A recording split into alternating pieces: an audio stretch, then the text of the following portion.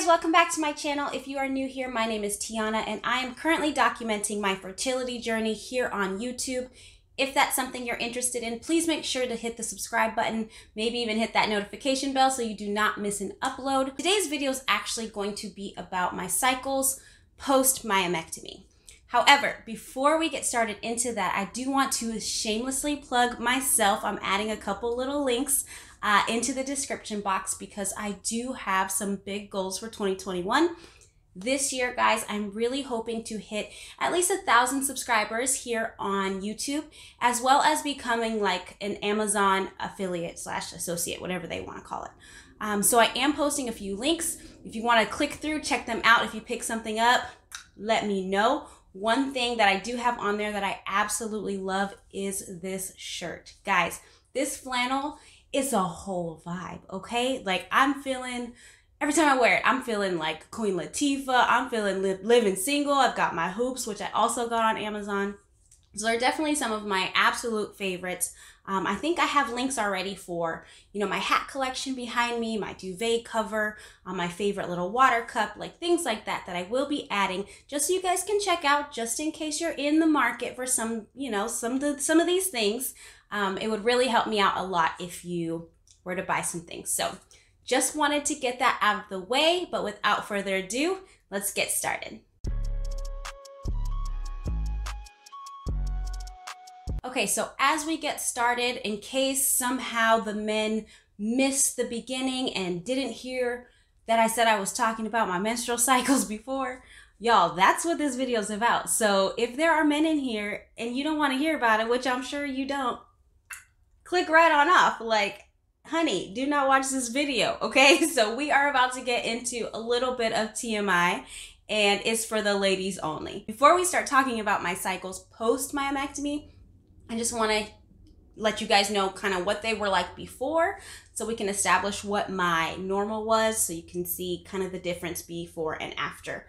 Um, before my myomectomy, and I'm talking like before my fibroids went crazy and you guys all experienced that with me. Um, I would have uh, extremely bad cramps the first two days. So, you know, I always knew coming up to my cycle, I'd feel a little weird. Um, I would be very tired. I would start to spot like two days before my cycle would start. Um, and then once my cycle would start, my cramps were like out of this world. Like, I don't, it just, they just got worse and worse and worse. So they would be terrible for two days. I would have to sleep with a heating pack. I would, you know, walk slowly, hunched over. The only medication that would help me um, was the Tylenol extra strength, which is like 500 milligrams per tablet. I would take two. So I'd be on like a thousand milligrams of Tylenol for two to three days, and then I would stop taking it just because my cramps were so bad pre myomectomy. Um, as far as my flow, um, I was never really a super like heavy. I don't really have a heavy flow. Um, so before I would, I mean, I've always just worn tampons. I didn't really know that tampons could affect like your cramps or anything like that. It never dawned on me or clicked. So I've always just worn tampons. Um, and I've been able to do that just fine. I've never had like any kind of crazy flow issues, which um, I'm definitely thankful for because I know a lot of women that have um, fibroids and that's like one of their biggest symptoms is they have super heavy flows and they're on their period for long extended periods of time. Um, my cycle has usually always been five to six days, and it's still like that today. So that's my normal. That was my normal. Um, and then going into IVF, um, I was taking Lupron shots and I started taking all these hormone um, hormone shots and my stomach, uterus, everything just went bananas. Um, and that was probably the worst cycle I've ever had. So since then, though, I've done a lot of research. I think what happened, which we don't really know exactly what happened, but I think the Lupron shots were causing my fibroid to start to shrink, and that's why um, I was having like a degenerating fibroid. I was having the worst cramps ever that cycle. I was clotting a lot. Um, it felt like a longer, like a longer, heavier cycle. It was just absolutely trash. Okay, and that was in July. Um, so August, I spent most of August just trying to figure out what was wrong in and out of the doctor's offices, stuff like that, um, which brought me up to my surgery in September. So I had my myomectomy September 16th of 2020. Um, smooth, super smooth process. I have a video. I can go ahead and I'm not gonna link it above because I'm not fancy. If I can figure it out, I'm gonna link it above. If not, it will be down in the description box so you can see um, surgery day, kind of how I was feeling before and after. It was pretty smooth, no complications. Everything went great. My surgery was September 16th. I ended up starting my cycle. So after surgery, you're you bleed for a couple days, um, which was true for me, and then I started my period about eight days later. So I was like right back to back.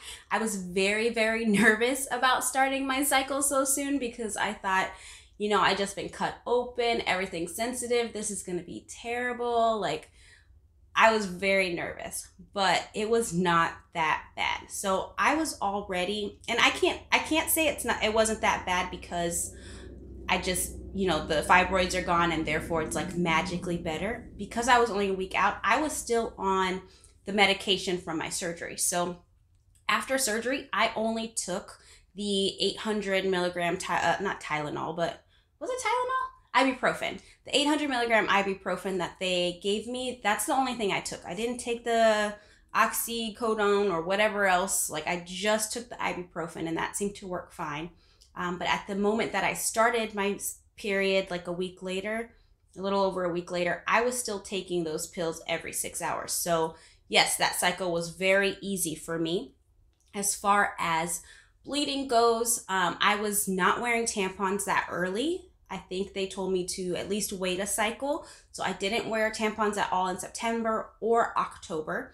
Um, but my September cycle was pretty chill, and I can't necessarily say it's because my fibroid was gone, but I will say it's probably because my ibuprofen um, was still like in my system.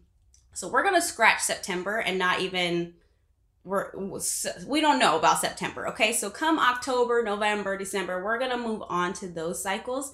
You guys, my cycles have been a freaking godsend. Like I can't.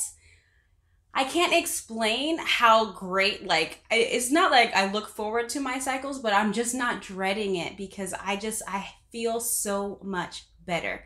So since September, or well, since I will say um, after October, because after October I was able to like start wearing tampons again, and everything was just normal feeling. Everything's just normal, right? Um, so now sometimes I have experienced spotting before, sometimes I haven't. So I don't know if that's going to be kind of a back and forth thing for me. Um, but this last cycle I did. So sometimes I'll still spot for a couple days before and then I will start my period. So I am still having those early onset kind of cramps, but they are nothing at all like they were before I had my surgery. Like I just feel a little discomfort. I might go ahead and use my um my heating pack at night, but it's not like I need to go take that Tylenol for 3 days. So they have been absolutely amazing. I know that I've had a few longer cycles uh, since my surgery in August. So before my surgery, that cycle, what I tell you guys, was like 40 something days. And then my next cycle went back to like 28. And then I had a 38 day cycle. And then my last one was another 28 day cycle. So I'm not really sure where I'm going to even out with that. Um, because I am trying to conceive, I am tracking my cycles. So I'll be able to update you guys again later on kind of where I even out uh, my last cycle was 28, 29 days. So I'm hoping that this cycle too will be short um, because I know that's better when you're trying to conceive. Um, to not have super long cycles, it can like mess with things and eggs and uh, it messes with things. So hopefully my cycles will kind of normalize and get shorter. I'm just so blown away about the difference of like my PMS symptoms. So before I I would get every symptom under the sun. So like every month I would think, am I pregnant? Like, oh my god, my boobs. Oh my god, I have headaches. I'm hungry. I'm this, I'm that.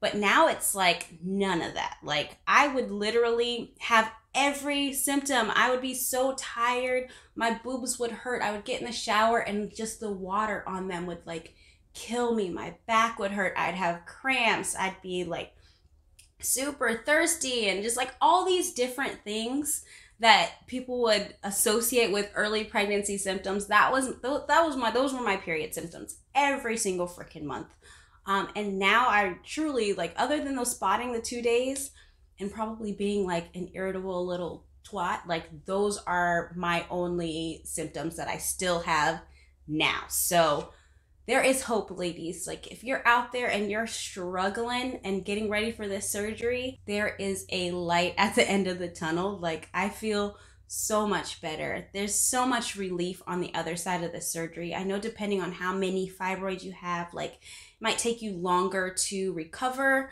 Um, but hopefully, I mean, I don't know if this is true, but I pray, I pray that we all have these glorious cycles. Like it's not just me, that you too will experience this relief because I hated having my periods every month before. And now I don't even really think about them. They come, they go, and it's not a big deal. So I just wanted to make this video because I do get so many questions in the comments of my other videos, just like, hey, you know, I'm about to have my surgery. Like, is it gonna get better? Like, is it gonna get worse? All these things. So I just wanted to get that out there, let you guys know it does get better and we're gonna get through this. So hopefully everything goes well. I know there's a bunch of you guys that are having surgery soon or have just had surgery. So please leave a comment. Let me know how you're doing. I'll check in on you.